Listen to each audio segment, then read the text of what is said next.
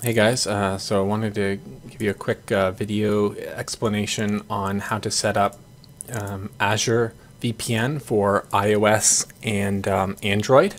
Um, so assuming you have you know your Azure VPN gateway, which has been set up by you know yourself or, or someone in, in IT, um, and you can download the VPN client from the point to site configuration.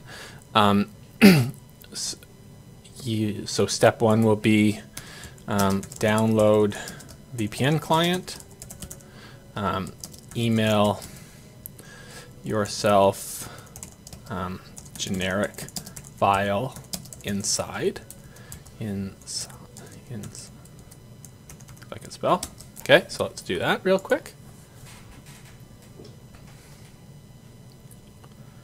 Um, the other thing to note here while it's just downloading is um, what you're going to want to do is make sure that, especially for iOS, because it won't work. You can still get it working with Android, no problem, but iOS does need IKEv2 um, to work with uh, Azure. Uh, and if you do this one, this will do the Windows 10 clients, Mac clients, iOS, and Android. So it's a pretty good setup. You're going to need also the, um, this is a standard SKU for the VPN. Like, it's not the cheapest one, it's the next one up.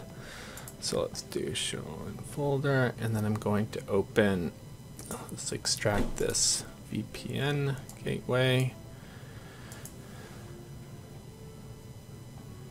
Once you download the, the VPN and unzip it, what you're going to want to email yourself, which I was making that list there, generic, and inside the the you, you don't need this one. You just need the the certificate that you, you know you, you're already using for the the VPN that has the you know the password, the P12 or the PK uh, uh, PKS or whatever. So once that's you would email yourself the certificate, and you're going to go into this file here. And if you go just edit, I guess, um, the things that you're going to need from this is the um, uh, essentially you just need this uh, URL here. It's going to have a bunch of numbers in front of it, .vpn.azure.com, and you're going to need to email yourself that um, certificate and then this, um, and I'll walk you through the um, iOS part first.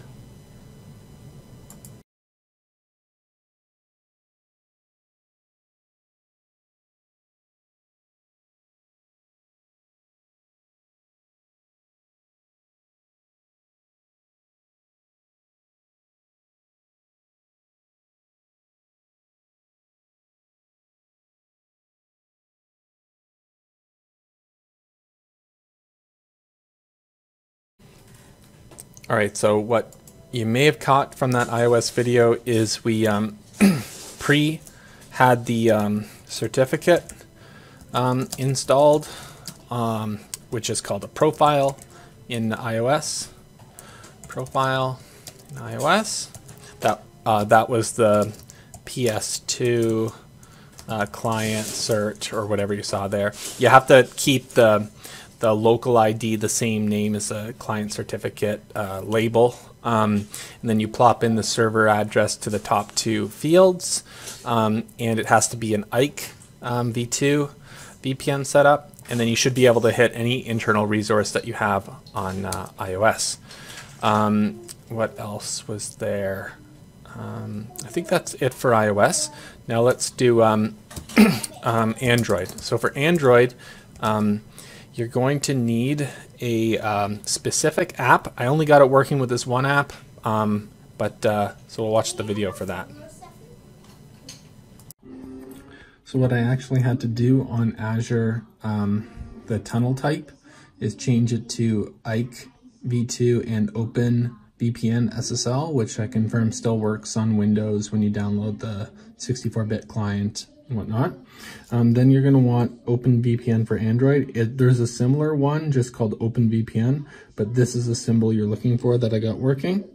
Um, when you download the um, uh, zip file, it will have the generic 64-bit, 32-bit, um, and an OpenVPN folder. In that folder, it will have the .ovpn file, email that to yourself and import it into the app. How I did that in the import was I went to new at the top and so if I go new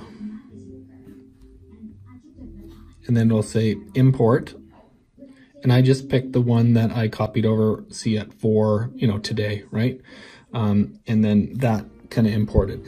But it didn't work right away. So what I had to do is go into it and um, I had to change the Android certificate to pick the um, that uh, password protected client certificate that you should all have uh, installed on your machines to get your Windows one working. Um, and um, it picked up the the the CA uh, certificate based on the OpenVPN file. And other than that, I didn't change anything else in here. Just set the, the client, uh, client certificate.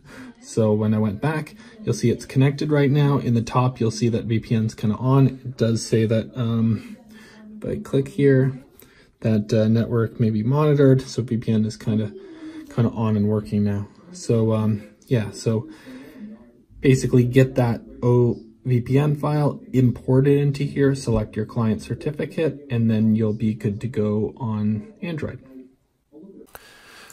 Uh, so you see here that I changed the tunnel type like I was talking about. Um, I'm just opening up the, uh, let's just open this one. File, you'll see that you have, this is the one for Windows 10. You know, most machines now are 64-bit, should be that one. Um, I'm not sure what's in that file, then you have your generic, but then the OpenVPN. This is the file here that you're going to copy to um, your um, Android to import, like I was saying.